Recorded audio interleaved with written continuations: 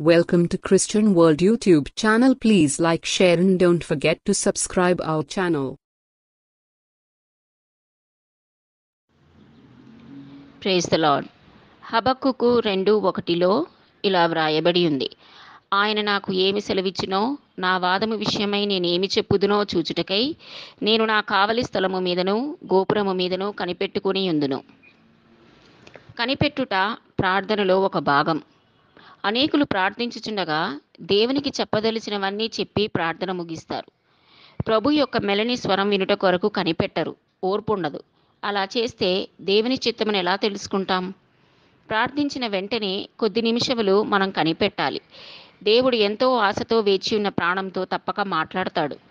ఆయన మౌనంలో కూడా జవాబు వెతుక్కోవాలి. అంతగా దేవునితో మనం సంబంధం పెంచుకోవాలి.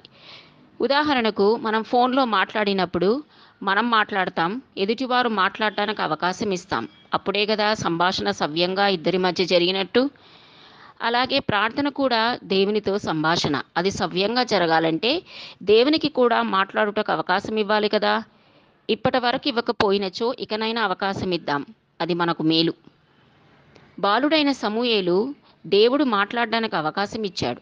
సమూయేలు చిన్నవాడైనా దేవుడు అతనితో మాట్లాడాడు. నీవు నేను చిన్నవారమైనా పెద్దవారమైనా చిన్న విశ్వాసైనా పెద్ద విశ్వాసి అయినా దేవుడు మనతో కూడా మాట్లాడుటకు ఇష్టపడుచున్నాడు. అవకాశం ఇస్తే నీవు ఆయన స్వరం వింటావు. ఇక నుంచి ఎప్పుడు కూడా దేవుడు అందరితో మాట్లాడడు కొందరితోనే మాట్లాడతాడు అనే అవివేకపు ఆలోచన తీసివేసుకుని అవకాశం ఇచ్చిన వారందరితో దేవుడు తప్పక మాట్లాడతాడు అని రుచి చూచి తెలుసుకుందాం. ప్రార్థనలో కనిపెట్టుట నేర్చుకుందాం. Praise the Lord God bless you